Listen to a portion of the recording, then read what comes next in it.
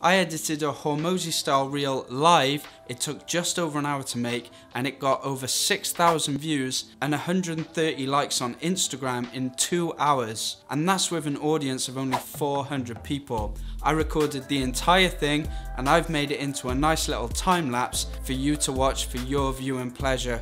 Hopefully you can pick up a trick or two from the video, but if you want my full in-depth Premiere Pro reel editing course, there's a link in the description below. So go and check it out, people are really loving this course. Anyway, hope you enjoy the video. First, I'm gonna just show you the final reel and then we'll get into the time lapse. Hope you enjoy.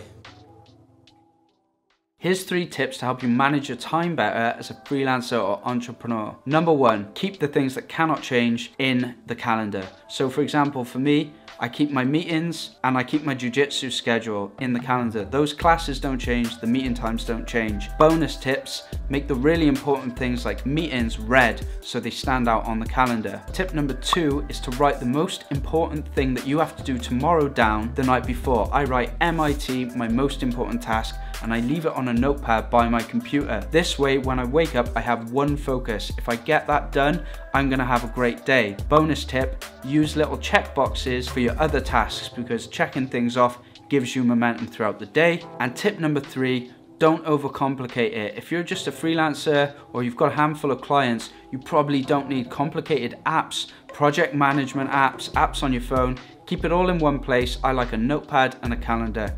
Keep it simple until it requires those bigger apps. Let me know if this video was helpful or how you manage your time as a freelancer entrepreneur. Drop a comment below.